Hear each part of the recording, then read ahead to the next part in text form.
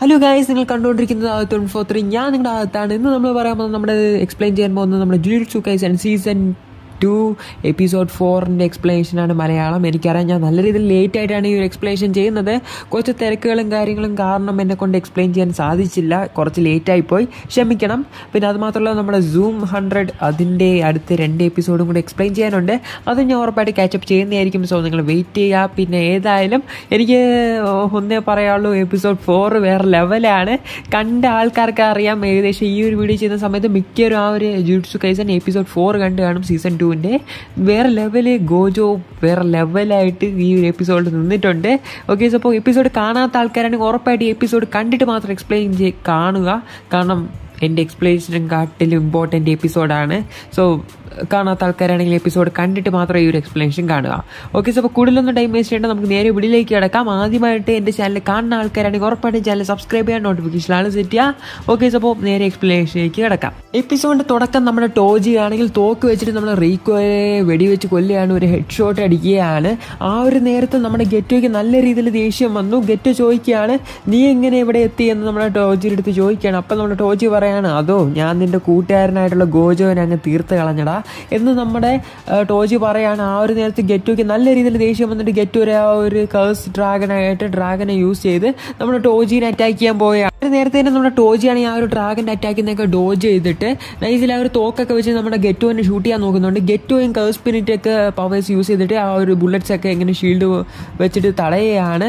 എന്നിട്ട് ആ ഒരു നേരത്തെ തന്നെ നമ്മുടെ ടോജിയാണെങ്കിൽ ആ ഒരു ഡ്രാഗനെ ഒക്കെ തീർക്കുകയാണ്. എന്നിട്ട് നടന്ന കാര്യങ്ങളൊക്കെ ഡീറ്റെയിൽ ആയിട്ട് നമ്മുടെ ഗെറ്റോരെടുത്ത് ടോജി എക്സ്പ്ലെയിൻ ചെയ്യുകയാണ്. എന്ന് വെച്ചാൽ ഈ ഒരു സ്ഥലം ഈ പറയുന്ന പോലെ എന്തൊക്കെ കേഴ്സ് എനർജി കൊണ്ട് ബാരിയറൊക്കെ വെച്ച് പ്രൊട്ടക്ട് ചെയ്താലും ഇതിന്റെ അകത്ത് കിടക്കാനായിട്ട് കുറേ രീതിയിലൊരു ഡോട്ട്സും കാര്യങ്ങളൊക്കെ ഉണ്ട്. മെയിൻലി ഈ ഒരു സ്ഥലം പ്രൊട്ടക്ട് ചെയ്യാൻ വേണ്ടിയിട്ട് അങ്ങനെ വലിയ കാര്യങ്ങളൊന്നുമില്ല എന്ന രീതിയിൽ നമ്മുടെ ഡോജി പറയാണ്. അതുമാത്രമല്ല ഈ നേരത്ത് ബാക്കിയുള്ള സോഴ്സേഴ്സും കാര്യങ്ങളൊക്കെ ഭയങ്കര ബിസി ആയിരിക്കും. ഈ പറഞ്ഞ പോലെ സ്കൂളും കാര്യങ്ങളൊക്കെ പ്രൊട്ടക്ട് ചെയ്യുന്ന രീതിയിൽ ആ ഒരു നേരത്ത് അവിടെ നമ്മുടെ ടോജിയുടെ ബഗ്സും കാര്യങ്ങളൊക്കെ ഉണ്ട്. അത് ആ ഒരു ഇതൊക്കെ വെച്ചിട്ടാണ് നമ്മുടെ ഗോജോനെ ഡിഫീറ്റ് ചെയ്തതും. അതുമാത്രമല്ല ഈ പറയുന്ന പോലെ നമ്മുടെ ടോജിയുടെ കയ്യിൽ കേഴ്സ് പവറും കാര്യങ്ങളൊന്നും ഇല്ലാത്തതുകൊണ്ട് തന്നെ നമ്മുടെ ടോജീനെ ആരെ കൊണ്ട് ഡിക്റ്റേറ്റ് ചെയ്യാനും പറ്റത്തില്ല. കേഴ്സ് പവർ ഇല്ലാത്തതുകൊണ്ട് തന്നെ. ഒരു നേരത്തെ തന്നെ നമ്മുടെ ഗെറ്റു ആണെങ്കിൽ തന്റെ കേഴ്സ് പവർ യൂസ് ചെയ്തിട്ട് നമ്മളെ ടോജിനെ അറ്റാക്ക് ചെയ്യാൻ വേണ്ടി ശ്രമിക്കുകയാണ്. പക്ഷെ ടോജി തന്റെ ബാക്കിൽ വന്നിരിക്കുകയാണ്. എന്നിട്ട് ടോജി പറയാണ് എടാ മോനെ നീ അവസരപ്പെട്ട് ഒരു കാര്യവും ചെയ്യല്ലേ മോനു?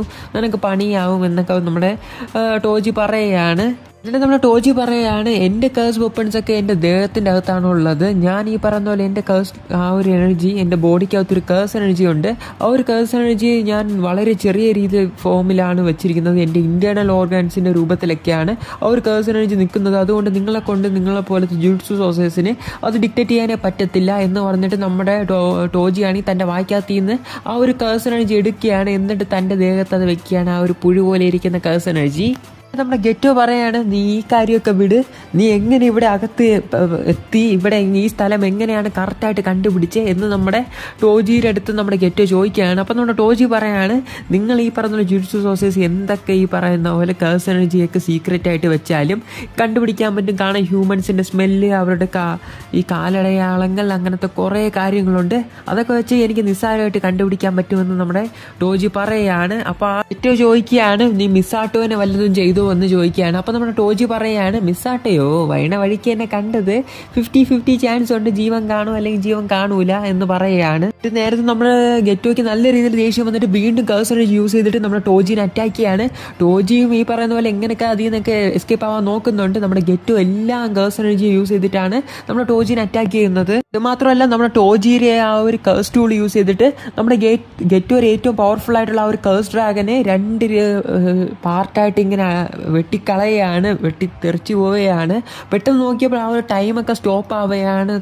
ഈ മേളിൽ നിന്ന് വീഴുന്ന സാധനങ്ങളൊക്കെ ഇങ്ങനെ നിശ്ചലമായിട്ട് നിൽക്കുകയാണ്. കാരണം മറ്റൊന്നുമല്ല ഗെറ്റോയുടെ ഏറ്റവും പവർഫുൾ ആയിട്ടുള്ള കേഴ്സ് ആയിട്ടുള്ള ഒരു കേഴ്സ് ഡൊമൈൻ ആക്ടിവേറ്റ് ചെയ്തിരിക്കുകയാണ്. ഒരു കേഴ്സ് ആണെങ്കിൽ നമ്മൾ ടോജിയുടെ അടുത്ത് ചോദിക്കുകയാണ് എന്നെ കാണാൻ ക്യൂട്ടായിട്ടുണ്ടോ എന്ന് ചോദിക്കുകയാണ്. അപ്പോൾ ടോജിക്ക് ഒരു കാര്യം മനസ്സിലാവുകയാണ് ഇതിന് അറ്റാക്ക് ചെയ്യണമെങ്കിൽ ഇത് ചോദിച്ച ക്വസ്റ്റ്യൻ ആൻസർ കൊടുത്താൽ മാത്രമേ ഇതിനെ കൊണ്ട് ഇങ്ങോട്ട് അറ്റാക്ക് ചെയ്യാൻ പറ്റൂ എനിക്കും അങ്ങോട്ട് അറ്റാക്ക് ചെയ്യാൻ പറ്റൂ എന്ന് പറയുകയാണ്. എന്നിട്ട് നമ്മുടെ ടോജി അതിന് ആൻസർ കൊടുക്കുകയാണ് നീ എന്റെ ടൈപ്പ് ഒന്നും അല്ലടി എന്ന് പറയുകയാണ്.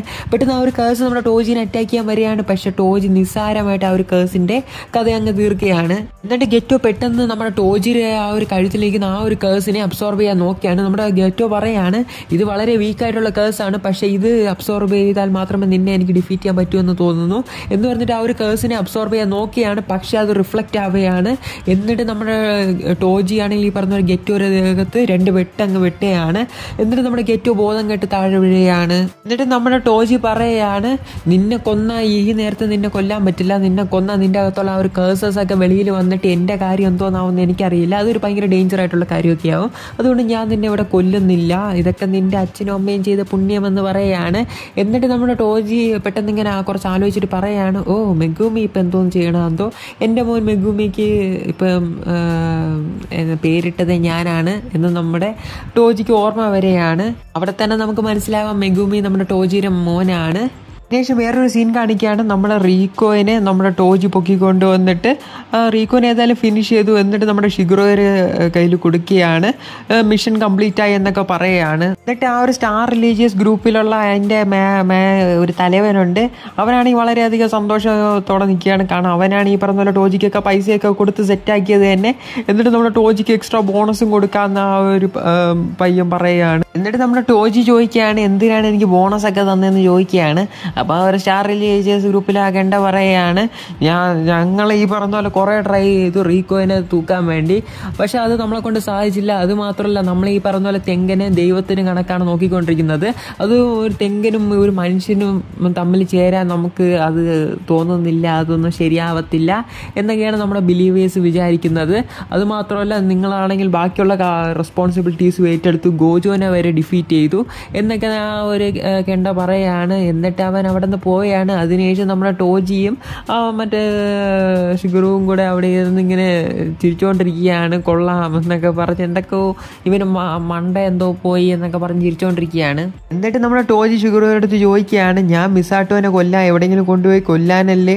പറഞ്ഞത് നീ എന്താ കൊല്ലാത്ത എന്ന് ചോദിക്കുകയാണ്. അപ്പം നമ്മുടെ ഷിഗുറോ പറയുകയാണ് എനിക്ക് നിന്റെ പ്ലാൻ ഒന്നും ഫുള്ളായിട്ടൊന്നും മനസ്സിലായില്ല. വെറുതെ ഞാനായിട്ട് ഇങ്ങനെ ഇടപെടണ്ട എന്ന് വിചാരിച്ചിട്ടാണ് മിസാട്ടോനെ കൊല്ലാത്ത എന്ന് നമ്മുടെ ഷിഗുറോ പറയുകയാണ് എന്നിട്ട് നമ്മുടെ ടോജി ആണെങ്കിൽ ഈ പറഞ്ഞ പോലെ ഷിഗുറോ എടുത്ത് ചോദിക്കുകയാണ് നമ്മൾ ഏതായാലും മിഷനൊക്കെ കംപ്ലീറ്റ് ചെയ്തല്ലേ? ഏതെങ്കിലും വല്ല റിച്ച് ആയിട്ടുള്ള ഹോട്ടലിലൊക്കെ പോയി ഫുഡ് തിന്നാമെന്ന് പറയാണ്.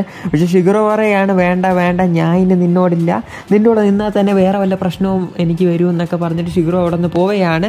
എന്നിട്ട് നമ്മുടെ ടോജി ഇങ്ങനെ മുന്നോട്ട് നടന്നുകൊണ്ട് പോകുമ്പോൾ അവിടെ ഒരു നിഴൽ ഒരു രൂപം കാണുകയാണ്. അത് മറ്റാരും അല്ല നമ്മുടെ സാട്ടറോ ഗോജോ ആണ്. അത് കണ്ടിട്ട് നമ്മുടെ ടോജിക്ക് വളരെയധികം ഷോക്ക് ആവുകയാണ് ടോജി ചോദിക്കുകയാണ് നീ ഇതുവരെ മരിച്ചില്ലേ? നീ എങ്ങനെ ജീവനോടെ നിൽക്കണേ? എന്ന് ചോദിക്കുകയാണ്. അപ്പം നമ്മുടെ ഗോജു ആണെങ്കിൽ തന്റെ നെറ്റിയിലുള്ള ഒരു മുറിവ് കാണിച്ചിട്ട് പറയാണ് ഞാൻ റിവേഴ്സ് കേസ് ടെക്നിക്ക് യൂസ് ചെയ്തു.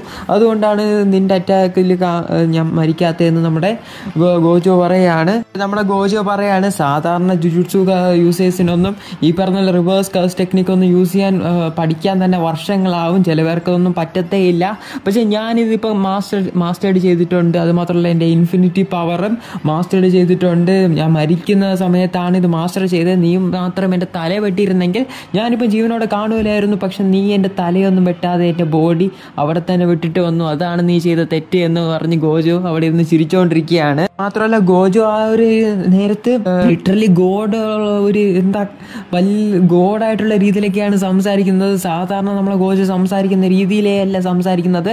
അത്ര ഓവർ പവർഡ് ആയിട്ടുള്ള രീതിയിലൊക്കെയാണ് സംസാരിക്കുന്നത് നമ്മുടെ ഗോജോ. അവർ നേരെ നമ്മുടെ ടോച്ചി പറയുകയാണ് ഞാൻ എവിടെയാടാ തോറ്റുപോയത്? വീണ്ടും നമുക്ക് അറ്റാക്ക് ഫൈറ്റ് ചെയ്യാമെന്ന് പറഞ്ഞിട്ട് നമ്മുടെ ടോജിയുടെ ആ ഒരു സോഡ് വെപ്പൺ എടുക്കുകയാണ്. എന്നിട്ട് നമ്മുടെ ടോജി ആ ഒരു സോഡ് വെച്ചിട്ട് നമ്മുടെ ഗോജോനെ അറ്റാക്ക് ചെയ്യാൻ വരികയാണ്. ഗോജുവിന്റെ തലേരെ നേരത്തെ നേരെയാണ് അറ്റാക്ക് ചെയ്യാൻ വരുന്നത്. പക്ഷേ അവിടെയാണ് ട്വിസ്റ്റ് നമ്മുടെ ഗോജോ ടെലിപ്പോർട്ടായി ബാക്കി വന്നിട്ട് റിവേഴ്സ് കേഴ്സ് ടെക്നിക് ആദ്യമായിട്ട് അവിടെ യൂസ് ചെയ്യുകയാണ്. റിവേഴ്സ് കേഴ്സ് ടെക്നിക് ആയിട്ടുള്ള റെഡ് ആണ് യൂസ് ചെയ്യുന്നത്? അത് ആ റെഡിന്റെ ആ ഒരു പവർ കൊണ്ടിട്ട് നമ്മുടെ ടോജി തെറിച്ചു പോയാണ്. ടോജിയുടെ തലയൊക്കെ ഇങ്ങനെ രക്തമൊക്കെ വന്ന് നിൽക്കുകയാണ്. അത് മാത്രമല്ല നമ്മുടെ ടോജി സനിൻ ക്ലാനിൽ പെട്ട ആളായതുകൊണ്ട് നമ്മുടെ ഗോജോരെ ഈ പറഞ്ഞ പോലെ റിവേഴ്സ് കേഴ്സ് ടെക്നിക്കും ആ ഒരു റെഡിനെ കുറിച്ചൊക്കെ നന്നായിട്ട് അറിയാം. ഈ പറഞ്ഞ പോലെ ലിമിറ്റ്ലെസ് പവർ അവന് നമ്മുടെ ഗോജോയ്ക്ക് ഉള്ളതുകൊണ്ടാണ് ഈ പറയുന്ന പോലെ റിവേഴ്സ് കേഴ്സ് ടെക്നിക്കും റെഡൊക്കെ അവനെ കൊണ്ട് ഇത്രയും ഈസി ആയിട്ട് മാസ്റ്റർ ചെയ്യാൻ പറ്റിയത്. എന്ന് നമ്മുടെ ടോജി അവിടെ പറയുകയാണ് എന്നിട്ട് ടോജി ഒരു വാമപ്പൊക്കെ വാമപ്പൊക്കെ ചെയ്തിട്ട് വീണ്ടും അറ്റാക്ക് ചെയ്യാൻ വേണ്ടി റെഡി ആയിരിക്കും. ഒരു ടോജി ഫുൾ കോൺഫിഡൻസിലാണ് നിൽക്കുന്നത്. ഈ പറയുന്ന പോലെ ഗോജോയെ തന്നെ കൊണ്ട് തോപ്പിക്കാൻ പറ്റും. എന്തൊക്കെ പറഞ്ഞാലും ഗോജോയുടെ ആ ഒരു പവേഴ്സിനെ കുറിച്ച് ഫുള്ളായിട്ട് നമ്മുടെ ടോജിക്ക് അറിയാം എന്നൊക്കെ പറയുകയാണ് പക്ഷേ ആ ഒരു നേരം നമ്മുടെ ഗോജു നമ്മുടെ ടോജിനെ നോക്കി ഒരു ലുക്ക് ഇങ്ങനെ നോക്കുകയാണ്. ആ ഒരു ലുക്ക് കണ്ടിട്ട് നമ്മുടെ ടോജ് പേടിക്കുകയാണ്. എന്തോ ഇവിടെ ശരിയല്ല എന്തോ ഇവിടെ തെറ്റായിട്ട് നടക്കുന്നുണ്ട്. ഞാൻ എന്തോ മിസ് ചെയ്യുന്നുണ്ട് എന്ന് നമ്മുടെ ടോജി പറയുകയാണ് എന്നിട്ട് നമ്മുടെ ടോജി ഈ പറഞ്ഞ പോലെ പറന്നുകൊണ്ട് കിടക്കുന്ന ഗോജുവിനെ അറ്റാക്ക് ചെയ്യാൻ നോക്കുകയാണ്. പക്ഷെ ഗോജു ആ ഒരു അറ്റാക്ക് നിന്ന് നൈസിൽ ഡോ ഡോ ചെയ്യാണ്. എന്നിട്ട് നമ്മുടെ ഗോജോ പറയുകയാണ് നമ്മുടെ റീക്കോയുടെ അടുത്ത് സോറിയൊക്കെ ചോദിക്കുകയാണ്. സോറി റീക്കോ എന്നെ കൊണ്ട് നിന്നെ രക്ഷിക്കാൻ പറ്റിയില്ല. ഈ പറയുന്ന പക്ഷേ എനിക്ക് നിന്നെ കൊന്നതുകൊണ്ട് എനിക്ക് ടോജിയുടെ അടുത്ത് ദേഷ്യവും തോന്നുന്നില്ല. കാരണം ഈ ഒരു നേരത്ത് എനിക്ക് ഈ ലോകം ഫുള്ളും ബ്യൂട്ടിഫുള്ളായിട്ട് തോന്നിയാണ് എല്ലാ ജീവജാലങ്ങളും. ആകാശവും എനിക്ക് ബ്യൂട്ടിഫുള്ളായിട്ട് തോന്നിയാണ്. ഒന്നിന്റെ അടുത്ത് ദേഷ്യവും ഒന്നിന്റെ അടുത്തും സ്നേഹവും പോലും എനിക്ക് തോന്നുന്നില്ല എന്ന് പറയുകയാണ് നമ്മുടെ ഞാൻ സ്വർഗത്തിന്റെയും ഭൂമിയുടെയും നടുക്കാണ് എന്നൊക്കെ നമ്മുടെ ഗോജോ പറയുകയാണ് ആ ഒരു നേരത്തെ ലിറ്ററലി ഒരു ഗോഡ് എന്ന രീതിയിലാണ് ആ ഒരു സീനിൽ നമ്മുടെ ഗോജോനെ ഇങ്ങനെ പ്രൊജക്റ്റ് ചെയ്ത് കാണിച്ചിരിക്കുന്നത്. നമ്മുടെ ഗോജു വേറൊരു കാര്യം കൂടെ പറയാണ്. എന്നെക്കുറിച്ചുള്ള മിക്ക ഡീറ്റെയിൽസും ആ ഒരു ടോജിക്ക് അറിയാം. അവൻ ജെനിൻ ക്ലാനിൽ പെട്ട ആളായതുകൊണ്ട്. പക്ഷേ നമ്മൾ എന്റെ സാട്ടറു ഫാമിലിയിൽ മാത്രം ഗോജോ ഫാമിലിയിൽ മാത്രം പെട്ട ഒരു സീക്രറ്റ് ഉണ്ട് അത് ഇവൻ ഒരിക്കലും അറിയാൻ സാധ്യതയില്ല. ഈ പറയുന്ന പോലെ മെയിൻലി എനിക്ക് എന്നെ കൊണ്ട് രണ്ട് പവേഴ്സ് യൂസ് ചെയ്യാൻ പറ്റും ഈ പറയുന്ന പോലെ.